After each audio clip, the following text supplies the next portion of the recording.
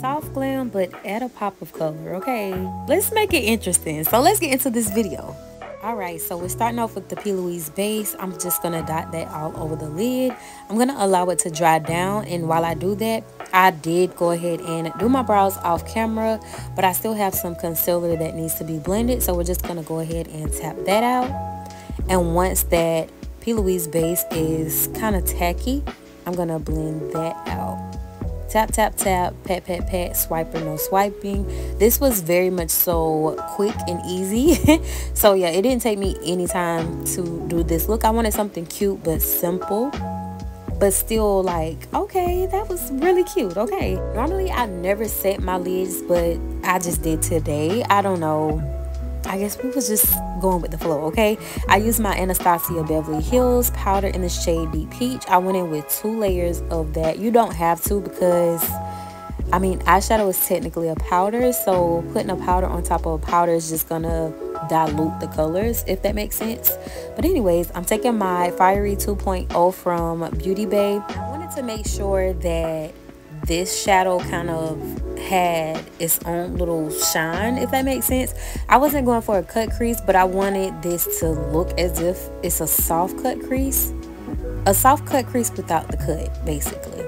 And then i went in with a brick brown shade and that was it for the eyes y'all. Like it was so simple so easy. Two shades and it made it look like i did a whole lot of work and i didn't. Like i did nothing at all but just stamped it on and that was it so now I'm going to take the NYX Vivid Matte Liner and create my wing. I've been doing my wings kind of on the slimmer side lately.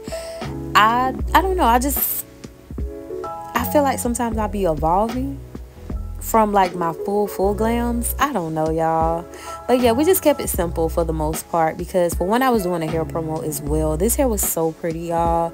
I do have the hair tutorial on my channel a few videos down but it's definitely given i got so many compliments on this entire look my makeup and my hair.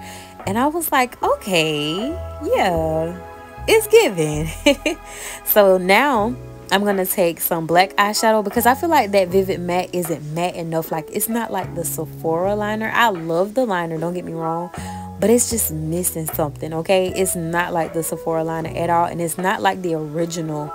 So yeah I went in with some mascara and now just to add a little oomph I took my Sephora liner. This is the brown I think it's called satin chocolate brown and I just put this on top just to kind of lighten things up.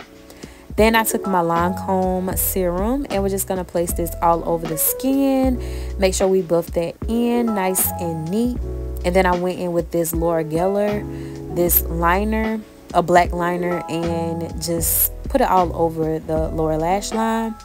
Those are the primers i used. Those two worked so good together y'all. Like oh so good. Everybody knows the key to a flawless makeup application will always be your skin prep. When it comes down to moisturizing your serums and your primers like that's the key okay for your makeup to last. And not only last but look really really good so now I'm going to take some concealer from Thread Beauty and just clean the wing up. I felt like the wing was a little wonky, so I slimmed it up like a lot, okay? And then I also went in with that same concealer to color correct my under eye.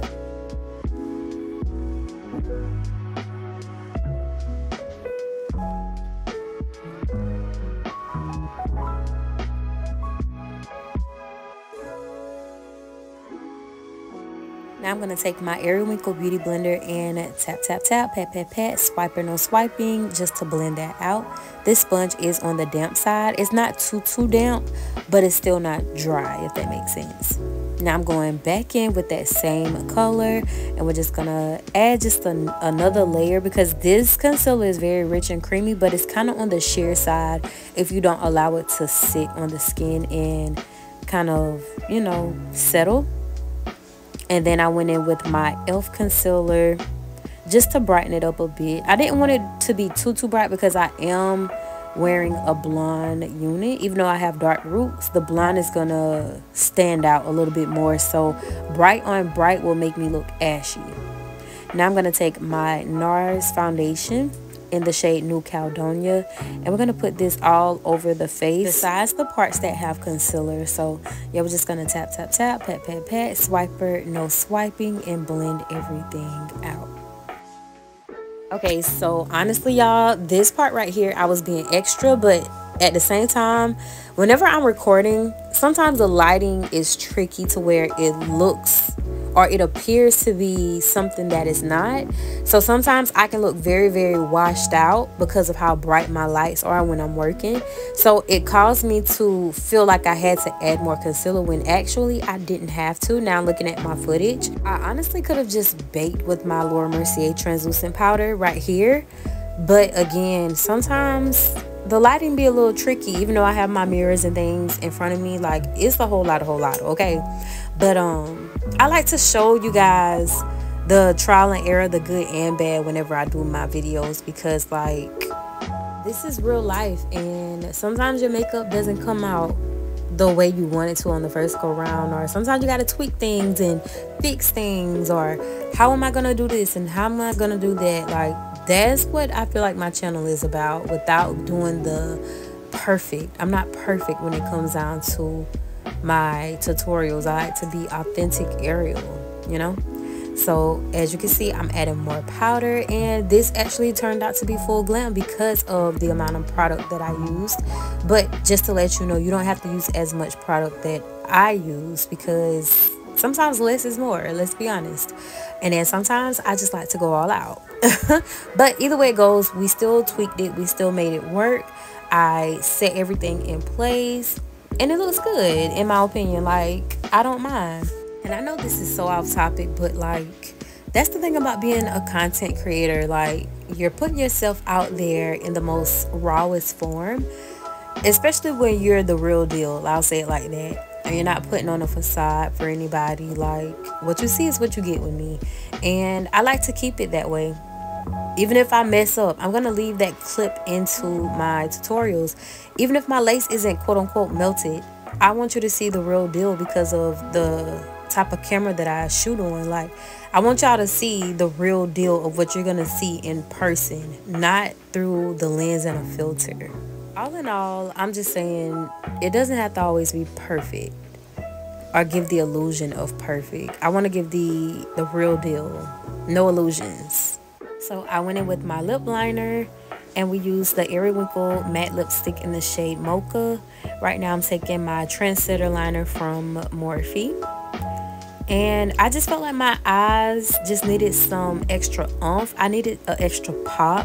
And I was just being picky at this point, honestly, y'all. It was like Ariel. I don't like the brows. I hated how my brows looked in this video, y'all. But again, I kept going. And I'm going to show y'all, like, trial and error. This is what I came up with. Every makeup look isn't going to be perfect, but I still made it look really good. And it's always the looks that I least like that people love. And I'm like, I never understood that. Like when I tell you so many people DM me, Ariel, where's the tutorial? And I'm like, sis, I don't even like how my makeup turned out, but okay I will edit this video. I always, whenever I do my makeup, nine times out of 10, I try to record. If I don't record for YouTube, I'm going to record for TikTok. And that way you guys can say, okay, whenever somebody asks me for a tutorial, I can say, okay, hey, it's here or it's there. You get what I'm saying? But like sometimes my makeup to me be looking like, ugh, you know, but it's not that bad, okay? It still came out pretty, right? We still gave we still gave a look or whatever okay? Because period we still gonna vibe out. We still gonna look cute regardless but yeah. For everybody who was highly requesting this look here you go. And i hope you guys enjoyed this video. Don't forget to like comment and subscribe and i'll see y'all in my next one. Bye y'all. And of course i gotta show y'all the low lights it still gave though. Yeah. Like i said sometimes my lights wash me out but this is the completed look, y'all. Yeah. Bye, y'all.